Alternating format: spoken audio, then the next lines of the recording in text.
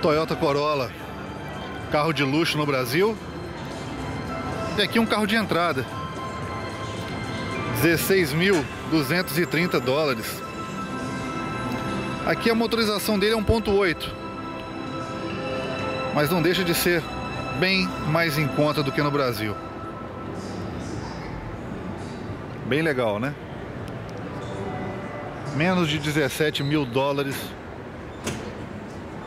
um Toyota Corolla. Lamentável.